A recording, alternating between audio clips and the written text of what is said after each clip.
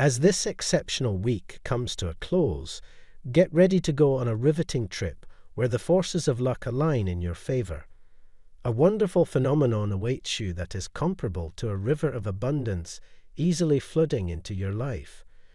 Watch in astonishment as your financial fortune soars with the ferocious momentum that grows stronger with every day that passes, composing an astonishing symphony of exponential development for your riches. Your God is speaking to you today.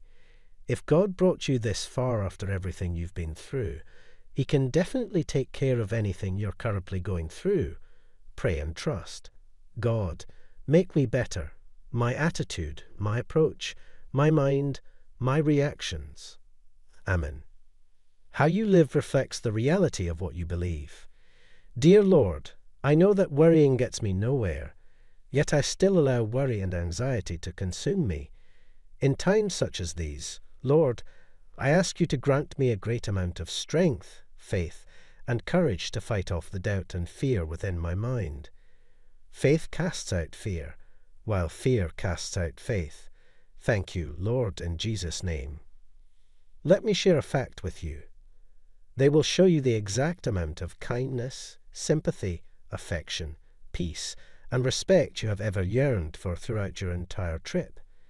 With them around, life will become more balanced and stable. When you perceive that you are receiving the love that you give to others, you will be joyful. Your angel will soon provide you and your partner with numerous opportunities. This will help them become closer and more compatible with one another. With them, you'll lead a financially secure, physically healthy, and psychologically sound future. Your angel is urging you to welcome these lovely events that will soon cross your path with open hearts. I'll walk you through particular scenarios for a reason, I promise, to mold you, to get you ready for the blessing I have in store for you, to get you ready for the things you are praying for in line with my desires. I understand your requests. I can relate to your situation.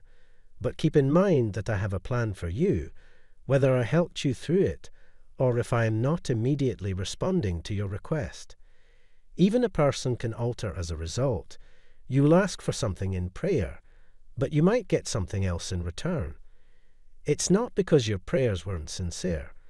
Rather, I have something better in store for you that will bring you greater joy than the things you prayed for. Every activity has its time. Have faith in me. Or, to put it another way, it cannot be altered. You are my child, therefore that explains why. To atone for your crimes, I sent my son to die on the cross. I have the ability to change whatever you are going through, but keep in mind that I have a plan for you if I permit such things to occur in your life. This person is irresistibly drawn to your magnetic energy, an energy that is both compelling and warm, and that's something they find very attractive. I repeat, your beautiful eyes have captivated someone special. Type yes if you believe in God. God bless you.